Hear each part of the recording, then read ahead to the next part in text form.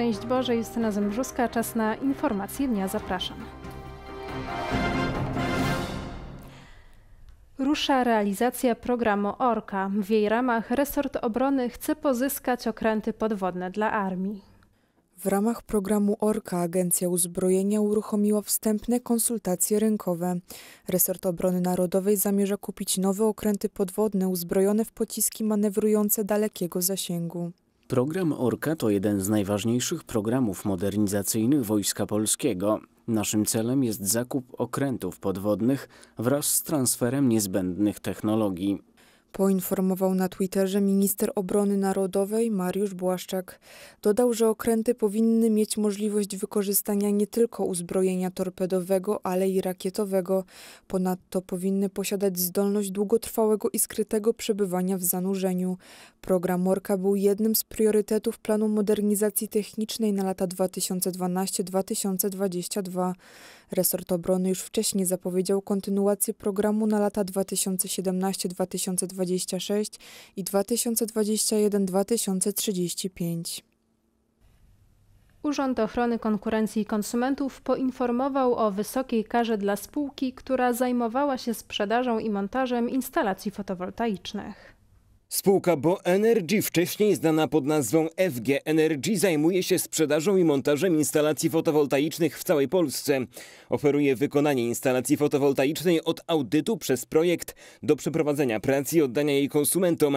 Realizacja zleceń odbywała się w oparciu o przygotowane przez spółkę umowy i tutaj Urząd Ochrony Konkurencji i Konsumentów dopatrzył się wielu niezgodnych z prawem zapisów. Przygotowanych przez spółkę wzorach umów zidentyfikowaliśmy aż 12 niedozwolonych klauzul na naruszających prawa konsumentów.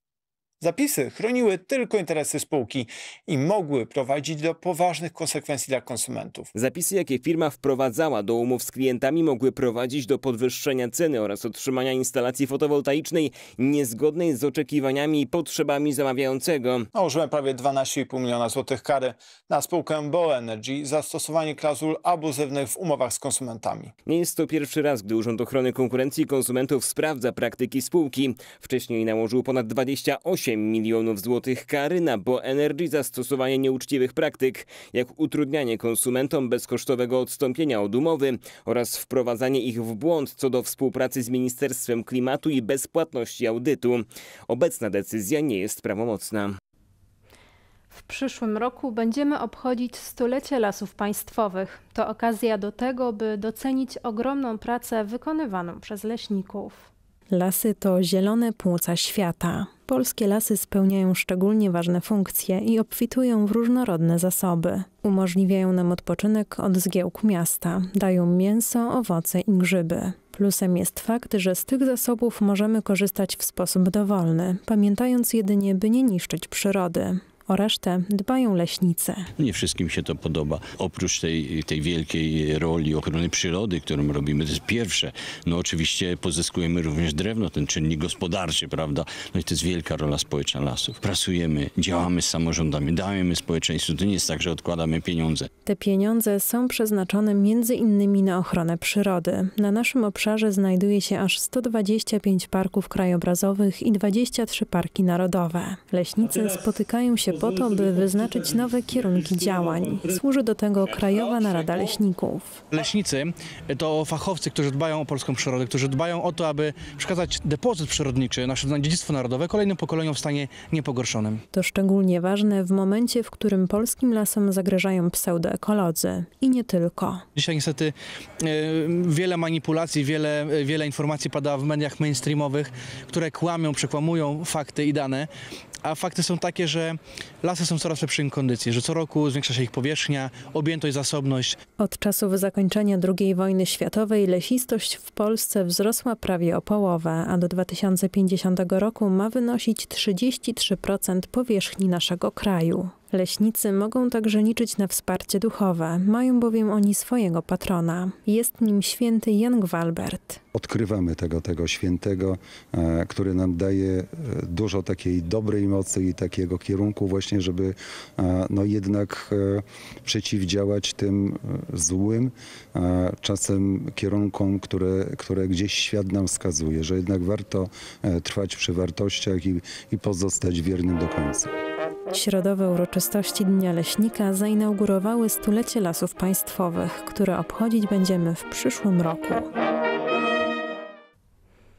Zatrzymani zostali sprawcy ataku na polski klasztor sióstr Elżbietanek w Jerozolimie. W Ziemi Świętej rośnie wrogość wobec chrześcijan, za czym stoją radykalne grupy. Nowy Dom Polski to jedno z miejsc, które najchętniej wybierają Polacy pielgrzymujący do Ziemi Świętej. Na co dzień mieszkają tutaj siostry Elżbietanki. To ich klasztor, w którym, jak wskazuje nagranie opublikowane w internecie, nie mogły czuć się w ostatnich dniach bezpiecznie. Napastnicy, a właściwie wandale, rzucali kamieniami w szyby, jednocześnie zniszczyli drzwi wejściowe i rozbili donice z kwiatami. Nikt nie ucierpiał w atakach, choć jak mówią siostry Elżbietanki, trwały one kilka dni. Spotkały się z reakcją polskiej ambasady i resortu spraw zagranicznych. Sprawcy zostali zatrzymani, łącznie to cztery osoby. Wszyscy zostali przesłuchani. Dwóch mężczyzn, 18-latek i 24-latek staną przed sądem za akty wandalizmu. W ostatnich miesiącach w Ziemi Świętej nasiliły się ataki na chrześcijan. Dewastowane były figury Chrystusa oraz zabytkowe nagrobki. Wierni i duchowni coraz częściej są opluwani przez ortodoksyjnych Żydów. Wzrost wrogości wobec chrześcijan jest często łączony z retoryką narzuconą przez ministrów nowego izraelskiego rządu, która ośmiela skrajne grupy do częstszych ataków. Głośna była sprawa jednego z dziennikarzy. Mężczyzna przebrał się z zakonnika, ludzie wyśmiewali go i opluwali, co było potwierdzeniem rosnącej wrogości wobec chrześcijan. Przed nami szczyt pielgrzymkowy. Pątnicy z różnych zakątków naszej ojczyzny już wkrótce ruszą w jednym kierunku w kierunku Jasnej Góry, gdzie zawsze z otwartym sercem czeka na nas najlepsza z matek Maryja. Pielgrzymka to wyjątkowy czas, to czas rekolekcji w drodze, mówi ojciec dr Oskar Maciaczek, przewodnik franciszkańskiej grupy 15, która do stóp Pani Jasnogórskiej wyruszy 3 sierpnia z Wrocławia. W czasie takich rekolekcji bardzo wiele się dzieje. E, to jest doświadczenie bólu, cierpienia, e, doświadczenie e, też różnych uczynków miłosierdzia, gospodarzy, którzy nas witają, pozdrawiają, dzielą się tym, co mają. Na pielgrzymce czas jak jakby staje w miejscu, mówi Michalina, która w tym roku po raz kolejny wyruszy na szlak pielgrzymkowy z gdyńską pieszą pielgrzymką na Jasną Górę. Na pielgrzymce byłam dwa razy. Pierwszy raz w 2021 roku i od tego czasu zakochałam się w pielgrzymce. Nie wyobrażam sobie wakacji bez pielgrzymki. I tego roku również idę z pielgrzymką. Jak jesteśmy na pielgrzymce, to mamy takie poczucie, jakby świat poza pielgrzymką się zatrzymał. I teraz jest tylko to, co jest na pielgrzymce. Jest ta modlitwa, e, jest rozwijanie relacji z Bogiem, e, są rozmowy, są, są tańce, jest śpiew i e, daje to też taką dużą okazję do tego, żeby zastanowić się nad samym sobą i żeby zastanowić się nad swoim życiem. Michalina podczas pielgrzymki służy swoją pomocą bliźnim. Jest zaangażowana w grupę medyczną, podobnie jak Zosia. Nasz dzień typowy wygląda tak, że w trakcie postojów, e, najczęściej w trakcie postojów e, Przynosimy apteczkę, każdy kto chce skorzystać może skorzystać, e, zawsze służymy pomocną radą. E, tak samo i również w trasie.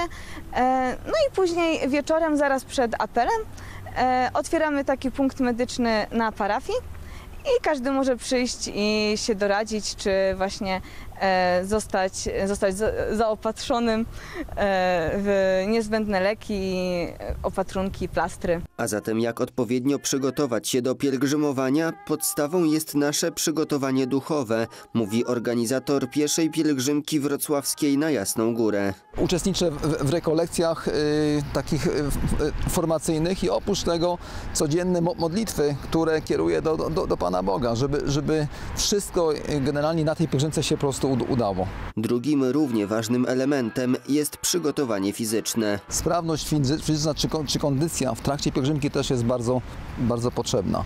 Jak się przygotować do pielgrzymki, to dla osób, które y, po raz pierwszy wyruszą na pielgrzymkowy szlak, proponuję, aby już dzisiaj rozpoczęły y, y, chodzenie przynajmniej po 5 km dziennie, na ile to jest oczywiście możliwe, żeby troszkę się rozruszać. Podstawą są również wygodne buty do pielgrzymowania, które przed wyjściem powinny być rozchodzone. Do tego w podręcznym plecaku nie powinno zabraknąć wody, nakrycia głowy, płaszcza przeciwdeszczowego, różańca oraz menażki i łyżki do ciepłego posiłku, który jak zawsze dzięki ogromnej życzliwości mieszkańców spotka pielgrzymów na szlaku.